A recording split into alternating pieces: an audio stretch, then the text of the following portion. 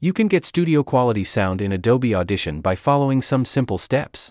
The configuration you have to do is minimal and very easy to follow. I will show the steps, and follow along with me to make your raw recording amazing. The waveform you see on the screen is my original recording. I have not added any audio processing to it.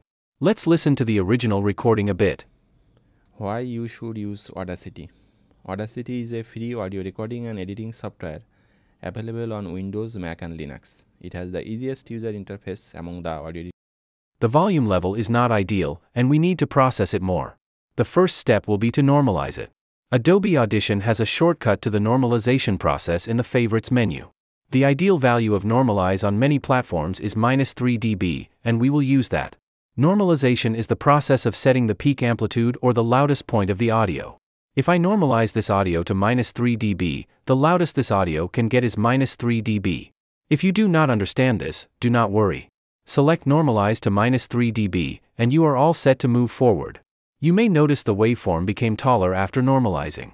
That means the volume level of this recording is now increased than before. If we listen to the audio, we will notice the difference. Why you should use Audacity? Audacity is a free audio recording and editing software available on Windows, Mac and Linux. It has the easiest user interface among the audio editing software. After normalization, the volume increased. But as a side effect, the noise level or noise floor of the quiet parts also increased. Adobe Audition has some excellent effects to deal with such noise. You can see all common noise reduction effects here.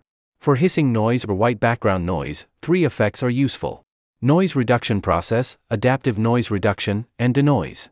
Among these three effects, denoise is the easiest to configure. I will use denoise. I will get back to the remaining process shortly. Before that, I want to show you a preset I made in Adobe Audition. I have pre configured all the effects in the right sequence in a preset. I have several presets, and Clear Voice is one of them. I will apply this preset to this raw recording, and the audio will become fantastic with just a click.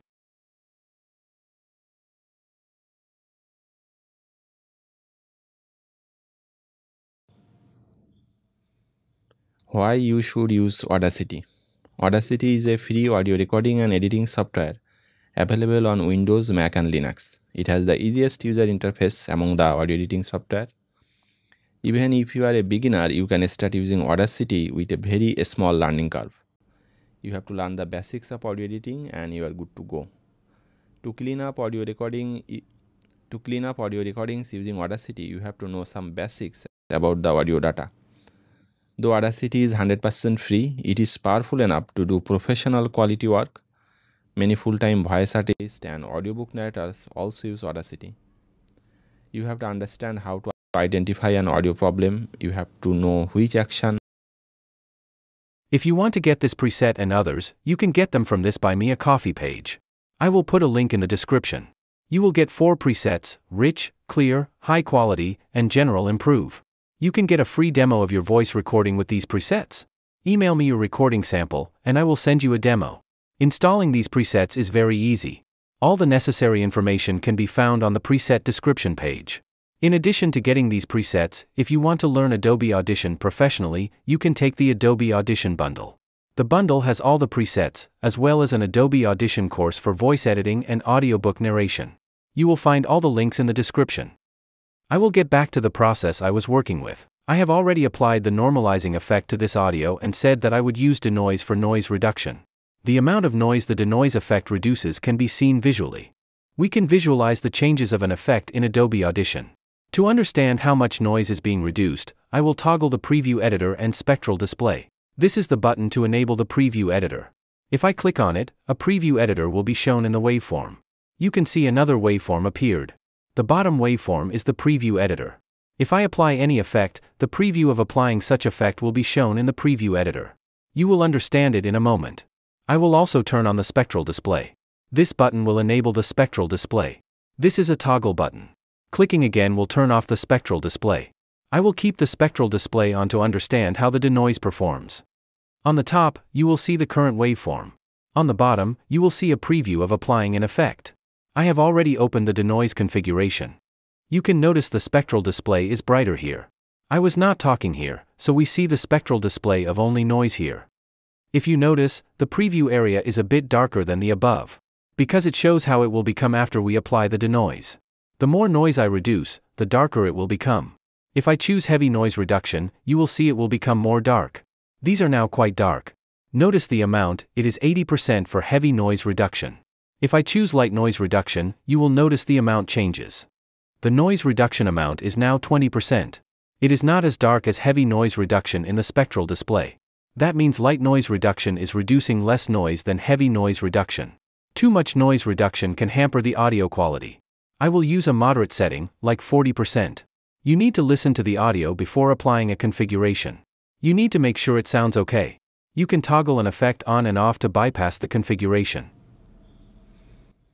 Why you should use Audacity? Audacity is a free audio recording and editing software available on Windows, Mac and Linux. It has the easiest user interface among the audio editing software. It sounds okay with the denoise configuration, and I will apply it. So far, I have applied normalize and denoise. You should take note of the order of effects I am using. If you are a beginner, you should follow the sequence of effects. If you alter the sequence, you may not get the desired high quality audio. The next effect will be the parametric equalizer. It is inside filter and EQ.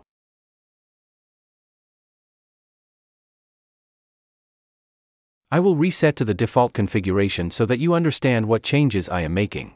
I will add a high pass filter. To activate the high pass filter, click on the HP icon. The high pass filter is active, and I will now set the frequency for the high pass filter. I will set it around 80 Hz. Every voice recording should have a high pass filter of around 80 Hz. It helps to cut out low frequency noises. If you learn about voice frequency, generally there is nothing below 80 Hz. A high pass filter around 80 Hz can make the sound cleaner. Why you should use Audacity? Audacity is a free audio recording and editing software available on Windows, Mac and Linux. It has the easiest user interface among the audio editing software. I feel it is sounding better with a high pass, and I will apply it. Please note that EQ is a complex process, and I am applying an absolute minimum EQ for human voice. I have other videos explaining complex EQ procedures on voice. The next effect I will apply is a compressor. It helps to reduce the dynamic range. If you look closely at the waveform, some peaks are higher than the rest. The taller these peaks are, the more dynamic range a recording has. A reduced dynamic range can make the voice better audible both on quiet and loud parts. In other words, the quiet talks will become perfectly audible. Adobe Audition has several effects to help the process, and we will use the Dynamics effect. There are several presets for Dynamics. We will be using a modified version of soft compression. Soft compression only has the compressor active. The autogate and expander are not active in soft compression. For this tutorial, we will only use the compressor. I will only change the ratio in the compressor. Other values will be the default. A ratio between 2 to 1 to 3 to 1 adds a moderate amount of compression. I will set it to 2.5 to 1. If you have followed the best recording practices and followed this tutorial so far, this setting is good enough for high quality audio. If you look closely at the waveform pattern, the waveform with the compressor looks more equal. In other words, we can say the dynamic range is reduced. If I play the audio, you can hear the difference. Why you should use Audacity? Audacity is a free audio recording and editing software available on Windows, Mac and Linux. It has the easiest user interface among the audio editing software. Even if you are a beginner, you can start using Audacity with a very small learning curve. You have to learn the basics of audio editing and you are good to go. To clean up audio recording, to clean up audio recording, I will apply this compressor setting. We are very close to finalizing the processing. I will normalize it again to minus 3 dB. Because with all the processing we have done so far, the audio level may be changed. Normalize it to minus 3 dB as a final step will help to set proper loudness for the final audio. We do not need the preview window anymore, so I will close it. The audio is processed now. I can go back and forth to the original and processed audio from history. We will listen to it with the processing off sometimes, and you will notice what a difference the processing has made. Please note that when I switch between the original and processed audio during live playback, you may hear some glitches. That is because I am switching between original and processed audio during live playback. The actual processed audio or the original audio has no such glitch. Why you should use Audacity? Audacity is a free audio recording and editing software available on Windows, Mac and Linux. It has the easiest user interface among the audio editing software. Even if you are a beginner, you can start using Audacity with a very small learning curve. You have to learn the basics of audio editing and you are good to go. To clean up audio recording to clean up audio recordings using Audacity, you have to know some basics about the audio data. Though Audacity is 100% free, it is powerful enough to do professional quality work. Many full-time voice artists and audiobook narrators also use Audacity. You have to understand how to identify an audio problem. You have to know which action you need to take. Then you have to follow through what kind of improvements you are getting with those actions. Knowing these kind of things will help you in the long run. You will become comfortable using any other paid software once you learn Audacity. With other audio editing software, you can drag and You now should have an idea of how the processing makes a difference. I would highly recommend you to practice the things you just saw. Take a raw recording and apply all the steps you saw in this video. You will be pretty amazed by the result. I already shared this preset pack with you. I also have a course on Adobe Audition. It suits the purpose of voice editing. If you do any kind of voice editing, this course will suit you. You can check the curriculum by following the link in the description. If you are serious about learning audio editing, I recommend you take this course. You will find all the necessary links in the description and in the pinned comment.